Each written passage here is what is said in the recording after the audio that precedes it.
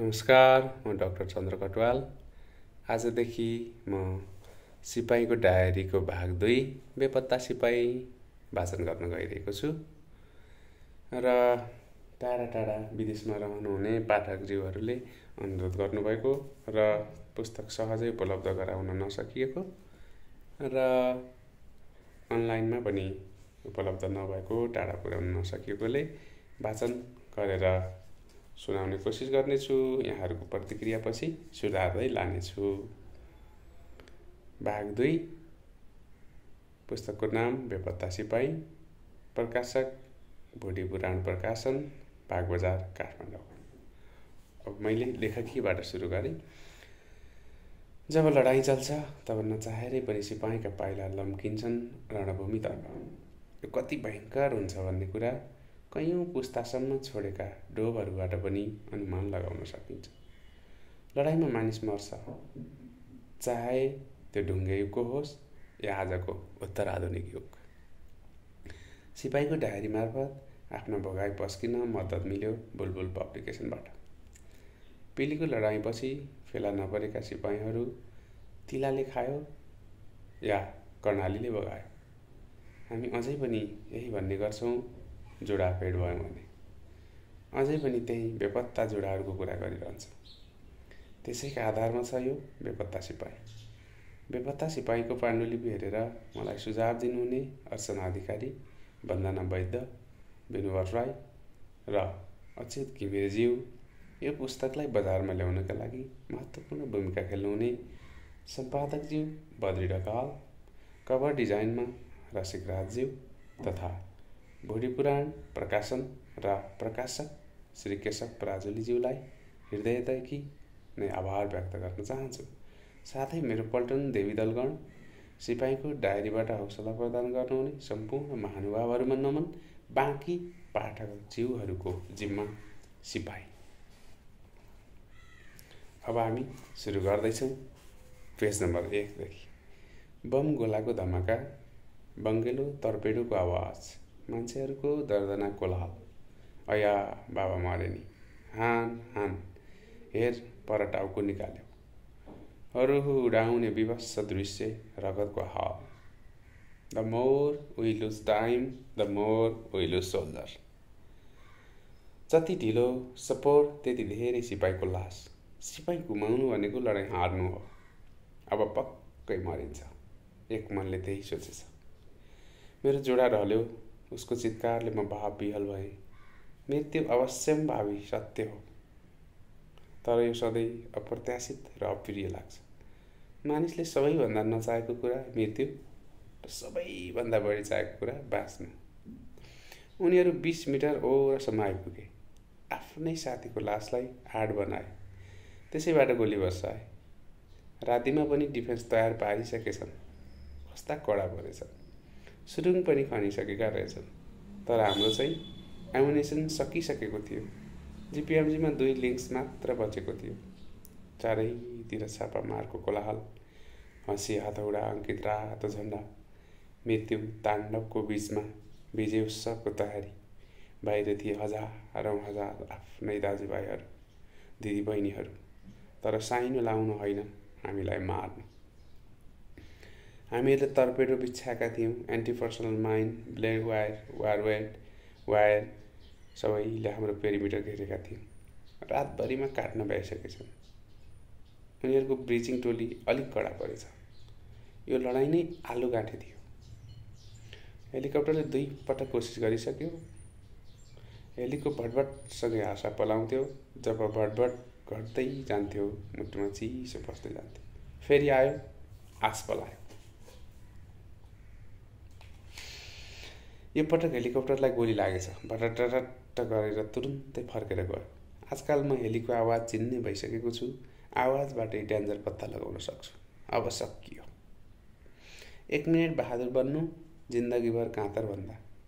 म अगाडि बढेँ आमालाई सम्झेँ रकेट लन्चर काँधमा राखेँ। अन्तिम बम युद्ध घोष पुकार्नै लागेको मेरो हात चुस्तामा पऱ्यो चुस्तामा रगत थियो। मलाई पनि गोली लागेछ। फुर्ती फार्ती जति गरे पनि भयो। तर मर्न डर नभएको र रहर भएको त को होला र यो थियो यसको ब्याकग्राउन्ड अब सुरु हुन्छ कथा। ओइ भाउ तेरा काका काला पहाडिया भइगया। त जाने कि नाइ? नत्र मै जाँदो खोज्न। म आन्टीको फोनले झस्के। धम्कीसहितको चेतावनी थियो। म पनि सोच्न बाध्य भएँ। अङ्कल काला पहाड जानुभएको। हाम्रोतिरबाट धेरै जाने ठाउँ चाहिँ त्यही हो काला पहाड। तर उहाँ नफर्केको पनि पाँच वर्ष भएछ। भाउजू उतै छोरो पनि उतै बस्ला भन्ने भइ लाग्यो। जुन रुखको बगडो उही रुखमा टालिदो भन्न आज आन्टीको चिन्ता बढेको देखेँ।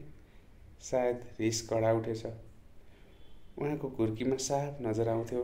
आन्टीको अनुहार नदेखे पनि अनुमान लगाए। त्यही चुरोट पिउँदै त फोन गर्नुभएको होला। चेन स्मोकर हो आन्टी। जतिखेर नि चुरोट। पहिले पहिले त तमाखु पनि तान्थे हाम्रोतिर। अहिले चुरोटले गर्दा तमाखु हटायो। केही महिना अगाडि मात्र इन्डियाका समाचार पत्रमा छापिएको थियो बुबुको समाचार। बुबु यानि कि दलाइ लामाका सिपाही। बुबुले एकमुष्ट उनान्सय लाख भारू पाउने भए। नेपाली लगभग डेढ करोड। पहिला पेन्सन पाएका थिएनन् भर्खरैको फैसलाले पाउने भए। बुबु सायद तिनजनाले पाउने भएछन् बुबुलाई त मैले अहिलेसम्म पनि देखेको छैन। अब सायद अङ्कल देहरादुन आउँछन् कि? पैसाका अलि लोभी छन्। गन्धैले थाहा पाउँछन्। झन् त्यसमाथि त्यति धेरै पैसाको हल्ला खल्ला बुबुको घर देहरादुनमै छ। लोकेसन पनि एकदमै सजिलो छ। जमुनाको पुलमा झऱ्यो। त्यस पछाडि एक किलोमिटर अगाडि जाने।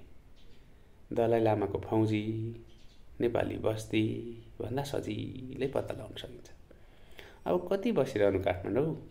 म पनि काठमाडौँ छोड्ने तयारी गर्दै थिएँ। अब गाउँ जानुपर्छ आफ्नै माटो चम्काउनुपर्छ स्वच्छ हावा मुलको पानी खोला खेत टारी पाखो बिहानैदेखि चम्किला देखिने हिमाल नजिकैको त्यो जङ्गल मृगको त्यो ख्याङ ख्याङ गर्ने आवाज हाइट मेरो मन नै अत्तालियो आन्टीको फोन धम्की। यो फोन पनि दुःखको कारण हो। गौतम बुद्धले दुःखका चारवटा कारण भन्नुभयो। तर त्यो त्यस बखतको कुरा हो। यो अहिलेको जमाना हो। दुःखका कारण पनि बढेका छन्। मलाई थाहा छ। दुःखका रहस्य भन्न मन थियो तर बहु भन्दिनँ। फेरि मानिसहरू पछि लाग्छन् अर्को दुःखको कारण थपिन्छ। अहिलेको सबैभन्दा ठुलो दुःखको कारण भनिदिउँ त्यसैबाट बुझिहाल्नुहुन्छ नि। साँच्ची हो कि होइन भनेर। त्यो हो सामाजिक सञ्जाल फलोवर बढेनन् पिर बढे नटेक्लान् त्यतापिर तिनैले हटसिटमा बसाल्छन्। कहिलेकाहीँ त्यही हटसिटले पछाडिको खाला चाहिँ खल्यात्तै पारिदिन्छ र मानिस फेरि हटसिटमा बस्न लागेकै रहँदैन। मनले मान्दैन कमेन्ट गरिहाल्यो। फेरि पछि सोचेर हैरान। मन दुख्यो कि? पहिला फ्यान भएनन् भन्ने पिर। फ्यान भए बाङ्गेलन भन्ने पिर भात मुछेर मुखमा हाल्न लागेको हुन्छ म्यासेन्जरमा कल आउँछ। फ्यान? अब भयो त। नउठाइ भएन। भर्खर भर्खरको सेलिब्रेटी हुन थालेको मान्छे उठायो कुरा गर्यो यता हातका औँला सुकेर डोजर लाउने भइसके।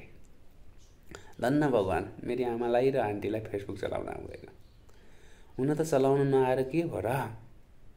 अस्ति एकजना साथी गुनासो गर्दै थियो।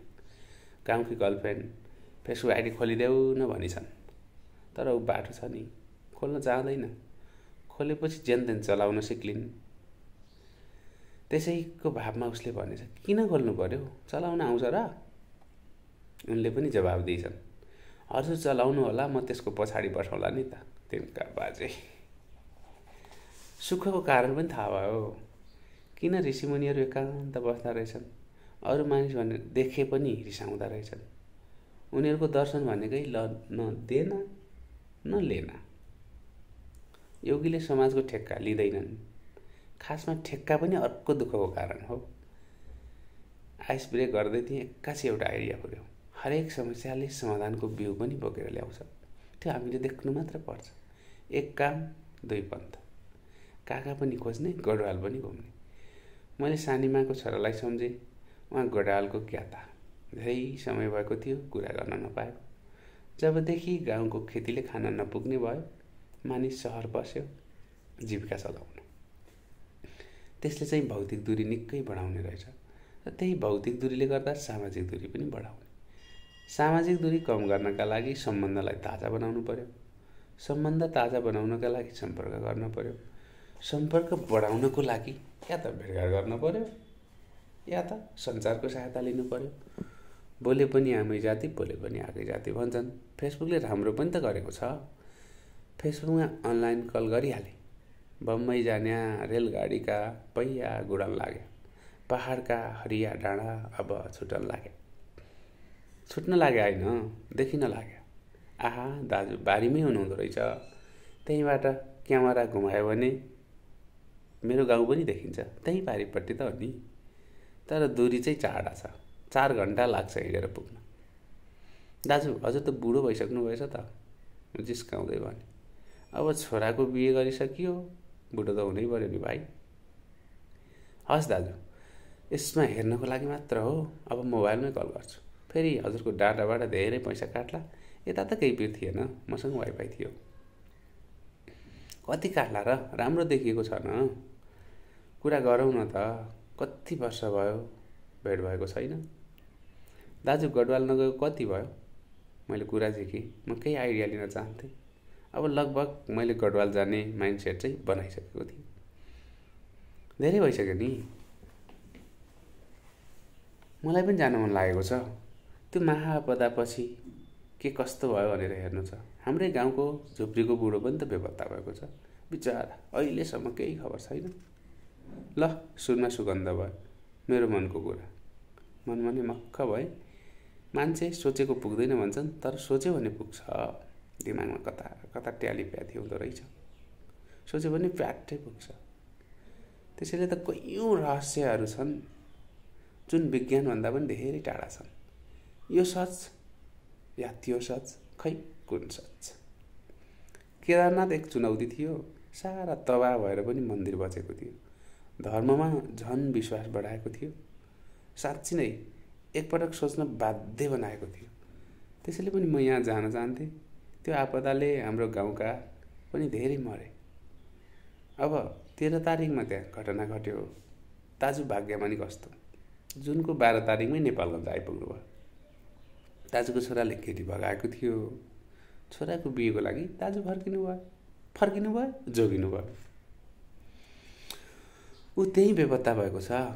झुप्टीले धेरैजनालाई खोजिदिन भनिन्। कसैले पनि मानेन।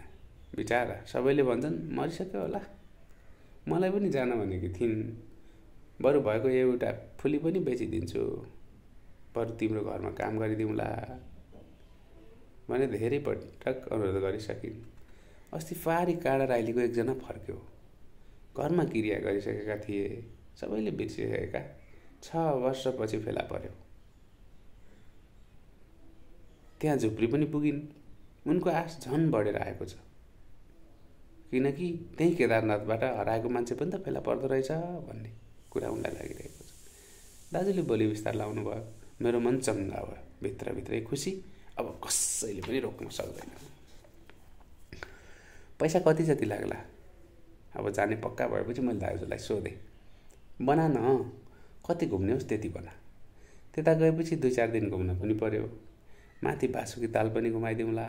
बाबाजी बस्ने गुफा पनि देखाइदिउँला त्यो धेरै जसोलाई थाहा छैन। म पो खच्चरलाई घाँस खोज्दै जाँदा माथि जङ्गलमा फेला पारेँ। त छक्क बस्छ त्यो देखेपछि बाबा साँच्ची नै चमत्कारी हुनुहुन्छ। पहिला भारतको प्रधानमन्त्रीका पनि गुरु। दर्शी हुनुहुन्छ अरे। हजुर भोलि हिँड्न मिल्छ? म दाजुलाई अनुरोध गरेँ। हजुर नेपालगञ्ज आउनुहोस् म त्यहीँ पुग्छु। अहिले नै हिँडौँ जस्तो भएको थियो। घरमा सरप्राइज दिनु थियो। अङ्कललाई खोजेर घर लगेर जान्छु। अङ्कल गडवानमा हुनुहुन्छ भन्ने पक्का पक्की जस्तै थियो। खै किन हो? अहिले हिँडिहाल्नु जस्तो भयो। नेपालगञ्जका लागि बुद्धयहरूको सस्तो टिकट हेरेँ। टिकट नसोचेको दरमा रहेछ। बस भाडाभन्दा पनि लगभग सस्तो। जम्मा दुई हजार पाँच सयमा टिकट काटेँ। राति निन्द्रै लाग्दैन। फेसबुक तलमाथि गर्दै समय बिताएँ। आजकल यो फेसबुक टाइम किलर भएको छ। कहिलेकाहीँ दुःखको कारण छ। कहिलेकाहीँ फेरि काम पनि दिएको छ। सायद बुद्धका चारवटा दुःखका कारणमा यो पनि थपिन्थ्यो होला। अहिले भएको भए पाँचवटा कारण भन्थ्यो। कहिले कमेन्ट गर्यो अरूले मन दुखाउने नगरे आफ्नो मन दुख्ने कतिपटक त शुभचिन्तकले यो पोस्ट सुधार गर या हटाइदे पनि भनेर भन्छन्। मलाई लाग्ने आरोप मान्छे कोमल छस् तर लेखाइ कति कठोर हुँदा पनि सिपाही जो परे मलाई धेरै हतार भएको रहेछ। एक घन्टा पहिले नै पुगेँ एयरपोर्ट। अझ एक बज्न एक घन्टा थियो। झोलाबाट पुस्तक निकालेँ द बुक अफ वुमन। थाहा थिएन देखाउनका लागि पढेँ या पढ्नका लागि देखाएँ। बसेर पढ्न थालेँ खै किन हो ध्यान नै केन्द्रित भएन। फेरि झोलामै राखेँ म धेरै छटपटाएको थिएँ धेरै खुसीले पनि छटपटाउने धेरै दुःखले पऱ्यो भने पनि छटपटाउने। त्यसैले भनेका होलान् दुःखमा नआतिनु सुखमा नमातिनु अति सर्वत्र बरजयते। अतिले खति निम्क्याउँछ। यदि धेरै पीडा सहन सक्दैन भने मान्छेले खुसी पनि त सहन सक्दैन। गीतामा भनेको छ सम्भाव राख्नु। यति सजिलै सम्भाव राख्नु वा भनेकै भरमा सकिनेको भएको त संसारमा कुन चाहिँ शास्त्रले नराम्रो गर्नु भनेको होला र। त्यसैले त कथनी र करणीमा फरक हुन्छ। सायद यसैका लागि चाहिने होला साधना। योग गर्नुहोस्। इँडा र पिङ्गला नाडी अर्थात् सिम्प्याथेटिक र प्यारासिम्प्याथेटिक नर्भलाई ब्यालेन्स गर्नुहोस्। योगको यही आकर्षणले होला एकजनाले शिल्पा सेट्टीको मोटो पनि घटाउने प्याकेज लगेछन्। चक्का किनेरै घरमा लगेछन्। एक वर्ष भयो केही परिवर्तन भएन। होस् पनि कसरी? उनी भिडियो मात्र हेर्ने रहेछन्। तर योग चाहिँ? योगमा सब थोक पाइन्छ तर आफैले गर्नुपर्छ। फतफताउँदै समय बित्यो समय पनि भयो। गाडी चढे एयर होस्टेसले शिर देखाइन्। बायाँतर्फ दुई थ्री। बिस्तारै प्लेन उड्यो। यो चिलगाडी उड्दा मनपर्छ। झर्दा पनि झ्याउ लाग्छ। बिस्तारै भ्याली पनि सकियो। थानकोट पुगिसकेपछि त भुइँमा अलिअलि जङ्गल मात्र देखिन प्लेन उक्लँदै थियो। सिट अलिक खाली नै थिए। लगभग प्लेन चढेको पन्ध्र मिनट जति मात्र भएको थियो प्लेनले हल्लायो साधारण होला भनेको त झन् झन् बढ्यो। तलका मान्छे माथिसम्म ठोक्किन पुगे। बेकारमा हतार गरिएछ। सायद मर्न नै रहेछ कि क्या हो? हुन पनि न समान्ने छ न टेक्ने हावाको कुरा जो छ घड्याङको आवाज आएर प्लेन सलल्ल तल खस्यो। पुरै सरे सिरिङ भयो मुटु चिसो भयो। चाकसँग सिरिङ्ग भयो सात उड्यो। कोही कराउँदै थिए कोही राम राम भन्दै थिए। सानी बालिका पनि रुन थाल्यो। एकजना निकै बुढी आमा डाको छोडेर रुनुभयो झन् मन हात्तियो। मेरो साइडमा भएको किशोरले मेरो साथ खोजिन् शरीर हात पुरै मतर्फ मोडी अघिसम्म छोएर पाप लाग्ला जस्तै बसेकी मान्छे छुन त मन म पनि डराएको थिएँ तर पनि पुरुष मन त्यसैले उनलाई हातले थमथमाएँ। प्लेन एक्कासी खस्यो मेरो पनि हल्का पिसाब खस्यो कि यकिन चाहिँ गरिनँ तर आशा धेरैले मुत्यो होला आपत पर्दा मलद्वारभन्दा जलद्वार पहिला खुल्छ खै एयर होस्टेस पनि कता गए। जति नै बाहना गर्न खोजे पनि ती केटीले मजाले सुनिन् होलान् मेरो मुटुको धड्कन श्वास बढेर नाक मुख भरिएको थियो। प्लेनले एकछिनमा पनि अलि उचाइ लियो तर पनि कता कता ठोकिएको जस्तो घटघट घटघट आवाज आइरहन्थ्यो। धेरैजनाले आँखा खोलेका थिएन। बिस्तारै सामान्य अवस्थामा आयो एयर होस्टेस बोल्न थाले। यात्रु महानुभावहरू मौसम गडबडीको कारणले गर्दा केही समस्या भएको छ। सबैजनाले बेल्ट बाँध्नु होला म चाहिँ दोधारमा थिएँ। के गरौँ? कयौँ घटनामा बेल्ट नबाँधेर मानिस बचेका थिए। कयौँमा बेल्ट बाँधेर। चौहत्तर साल फागुन अठाइस गतेको सोमबार। काठमाडौँको त्रिभुवन विमानस्थलमा भएको युएस बङ्गलाको विमान अवतरण गर्ने क्रममा दुर्घटना भएको थियो। जसमा सवार एकहत्तरजनामध्ये एकाउन्नजनाको मृत्यु भएको थियो। भने जम्मा बिसजना बाँच्न सफल भएका थिए। त्यसमध्ये एकजना बलिरहेको प्लेनको सिसा नै फोडेर हाम फाल्दा बाँच्न सफल भएका एकैछिनपछि अवस्था सामान्य भयो। हरेक अवस्था परिवर्तनशील छ। ए पल भिकट जाएका। यो समय पनि बित्छ। मैले योभन्दा पनि झन् डर लाग्दो अवस्था देखेको छु। तर पनि डर त डरै लाग्यो। म बेमान रोकिएपछि झरेँ। एउटा रिक्सा समातेर चोकमा पुगेँ दाजुलाई कल गरेँ। उहाँ भर्खरै धम्बोजी चोक झरेँ भन्नुभयो। म पनि त्यही रिक्साबाटै सिधै धम्बोजी चोक पुगेँ। काठमाडौँमा बिहान बाक्लो कपडा लगाएको थिएँ। यहाँ त सबै फुकालेर फालौँ जस्तै भयो। यो पटक काठमाडौँमा जेठको महिना पनि ज्याकेट लाग्यो। पानी परेरै पनि होला सायद। दाजुभाइको भेट भएपछि एउटै टाङ्गामा चढेर लाग्यो रुपडिया। किन हो? बोर्डर काटेपछि मन चिसो भयो। अब देशीको देशमा छिरेका थिए। पसिना खलखली भइसकेको थियो। मैले दाजुलाई उखुको रस भने। रस पिउन थालियो। गुलियो भएर होला ठेला वरिपरि माउरीहरू घुमिरहेका थिए। बाटामा सजाएर पुदिनाको एक झाङ नै राखेको थियो। हामीलाई दिने उखुको रसमा पनि त्यो हाल्यो। उखुको जुसमा आइस पनि मिलाउँदो रहेछ। जम्मा दस रुपियाँ त्यो पनि नेपाली। मलाई धेरै सस्तो लाग्यो। फेरि अर्को गिलास थप प्राकृतिक गर्मीलाई कृत्रिम चिसोले मथोरे। कस्तो फोहोर। यी देशीले हल्ला गर्न ठुला खुला गर्न नेपालीलाई हेप्न आउने रहेछ। सफा चाहिँ गर्न आउँदैन। कि अरूले नै सिकाउनु पर्ने रहेछ। यस्तो विधि फोहोर त कतै नहोला। बिस्तारै हिँड्दा हिँड्दै बस पार्क पुगियो।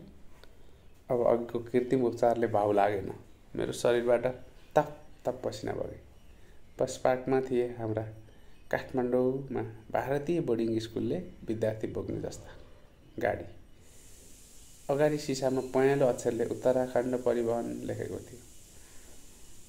दुई बजे नै गाडी हिँडायो ठिक समयमै।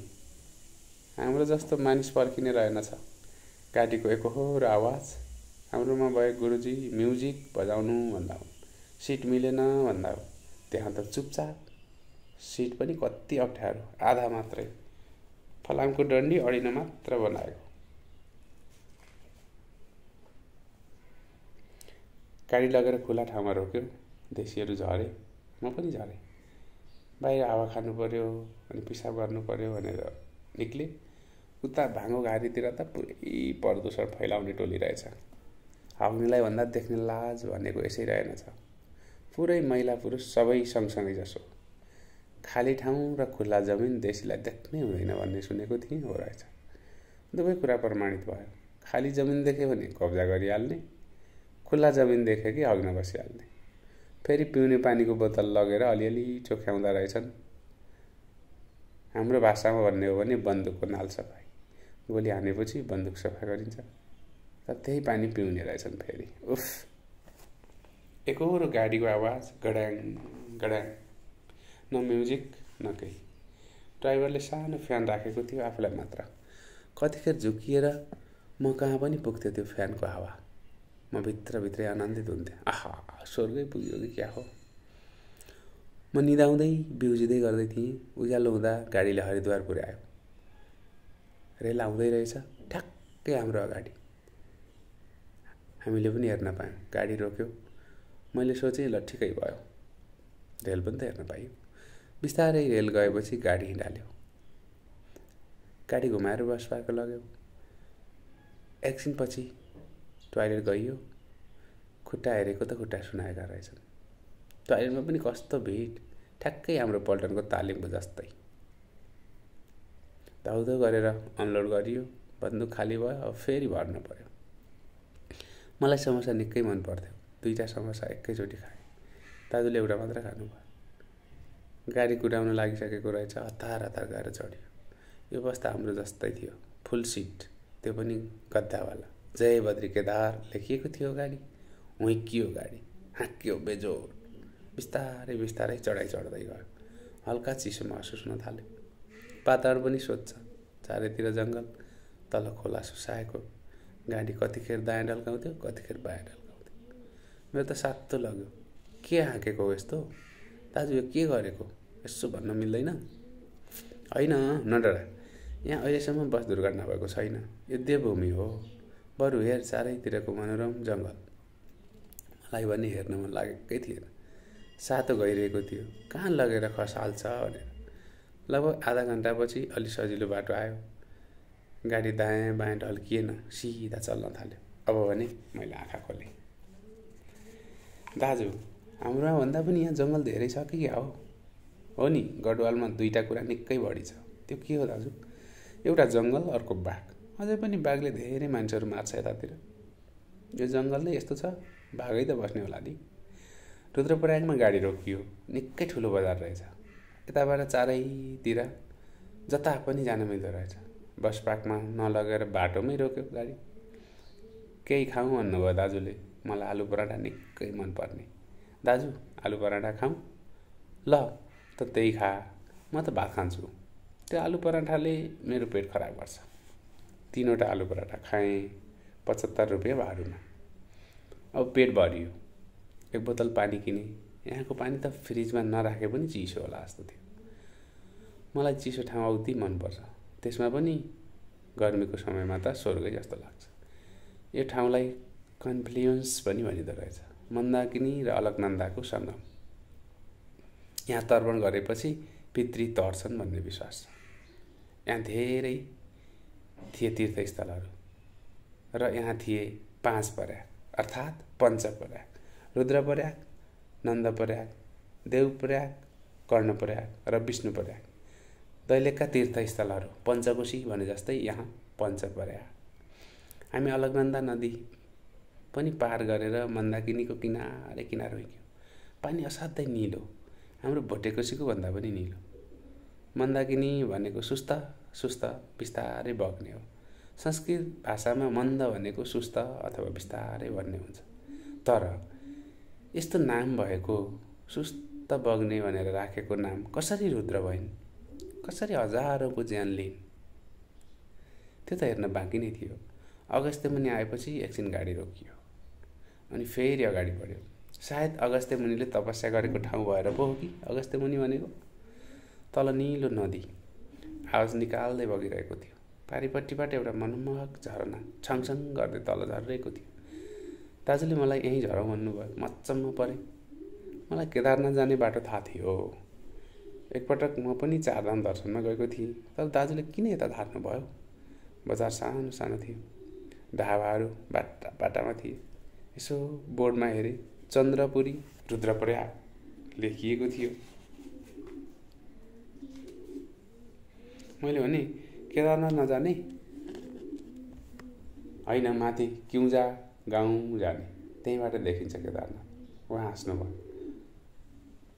एकजना मोटो जानुभएको तर भुँडी निकै बाहिर आएको मानिस दाजु नजिकै आयो र दाजुतिर हेरेर मुस्कुराउँदै भन्यो रामबहादुर कैसे हो? अब बाँकी भाग? अर्को एपिसोड अर्थात् दोस्रो भागबाट सुरु गर्नेछौँ।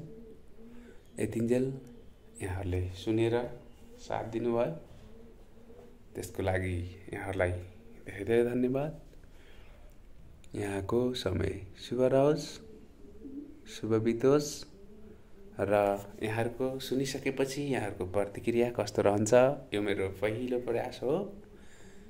र अरू कसैलाई यसको अडियो रेकर्ड गराउँदा थुप्रै पैसा पनि लाग्ने समय कहाँ कहाँ के के मिलाउन नसकिने भएको कारणले गर्दा म आफैले यसलाई साङ्गो पाङ्गो जानी नजानी शब्दमा उतारेको कुरालाई बाणी मार्फत हजुरहरू समक्ष पुर्याउने कोसिस गरेको छु।